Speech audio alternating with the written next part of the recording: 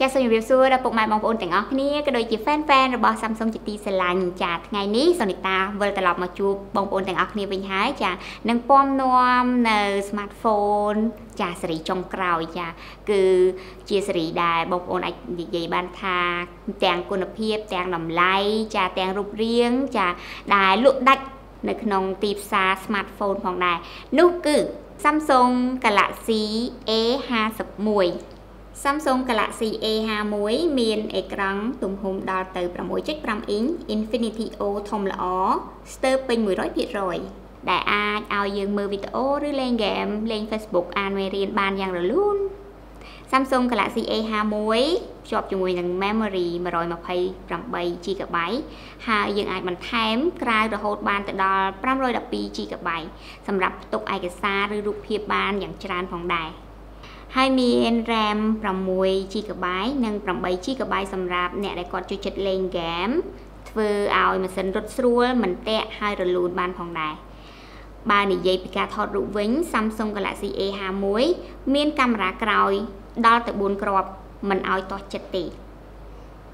48 megapixel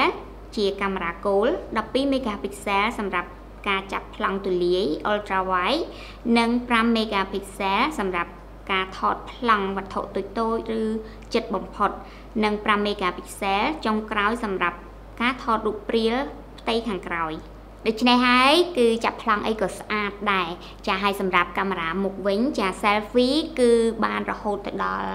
32 megapixel អញ្ចឹងចាប់ប្លង់អីក៏ស្អាតដែរនិយាយទៅដាក់មកប៉ុស្អាតមកប៉ុស្អាតតែម្ដង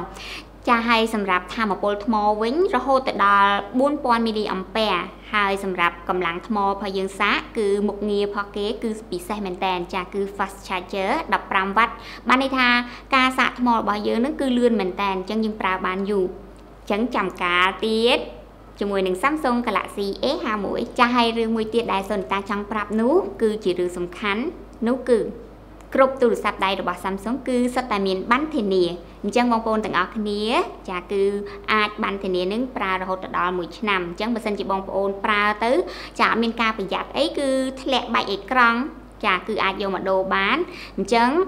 Samsung នឹងមានការ discount 50%និយាយទៅគឺជួយចេញលុយ